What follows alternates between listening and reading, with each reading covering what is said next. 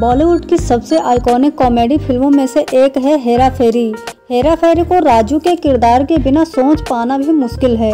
इसे निभाने वाले अक्षय कुमार ने कुछ दिन पहले इवेंट में कंफर्म कर दिया था कि हेरा फेरी थ्री में वो अपने इस किरदार को दोबारा नहीं निभाने वाले।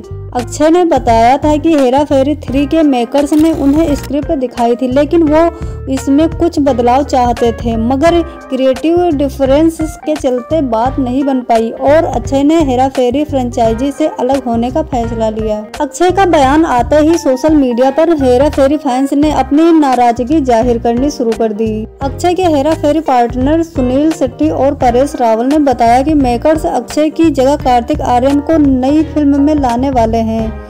यह भी कहा गया कि कार्तिक जो रोल कर रहे हैं, वो अक्षय वाला नहीं, बल्कि एक नया किरदार है। लेकिन ताज़ा रिपोर्ट्स बता रही हैं कि अक्षय की वापसी अभी भी मुमकिन है और इसके लिए मेकर्स ने कोशिशें शुरू कर दी हैं। कई मीडिया रिपोर्ट्स में दावा किया जा रहा है कि हेरा फेरी फ्रेंचाइजी के प्रोड्यूसर फिरोज नाडीवाला ने अक्षय कुमार से दोबारा बातचीत शुरू कर दी है। पिंक विला ने पूरे डेवलपमेंट पर नज़र रख रहे एक सूत्र के हवाले से बताया कि हेरा फेरी थ्री में कार्तिक, आर्यन और बाकी कास्टिंग कागजों पर भी पक्की हो चुकी थी, लेकिन अब अब मामला फिर से पलट रहा है। सूत्रों के मुताबिक बताया गया कि हेरा फेरी ऐसी फ़िल्म है जो अक्षय कुमार के बिना नहीं बन सकती।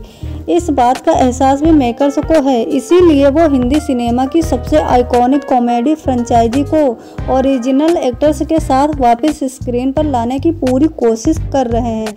मेकर्स और एक्टर्स में इसी दिशा में आगे बढ़ने के लिए लगातार बातचीत जारी है।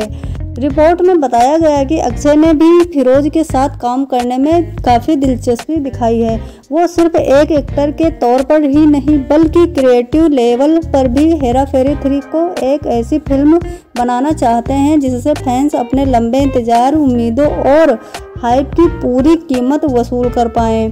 साथ में यह भी बताया गया है कि अक्षय की फ़ीस कभी भी उनके अलग होने की वजह नहीं थी, बल्कि स्क्रिप्ट का पंगा था। लेकिन अब फिरोज और अक्षय बैठकर फ़िल्म के भविष्य को लेकर फैसला करेंगे। फैंस को हेरा फेरी थ्री से एक जोरदार कॉमेडी की उम्मीद है, और ऐसे में सब यही चाहेंगे कि अक्षय फिर से राजू के रोल में नज़र आए। तो फ़िलहाल फ्रेंड, आप कमेंट करके ज़रूर बताइएगा कि क्या आप भी जो है हेरा फेरी थ्री में अक्षय कुमार जी को राजू के रूप में देखना चाहते हैं या नहीं? तो फ्रेंड, ऐसे ही अमेजिंग वीडियो देखने के लिए वीडियो को लाइक कीजिए शेयर कीजिए और चैनल को सब्सक्राइब ज़रूर कीजिएगा। मिलते हैं अगली वीडियो में।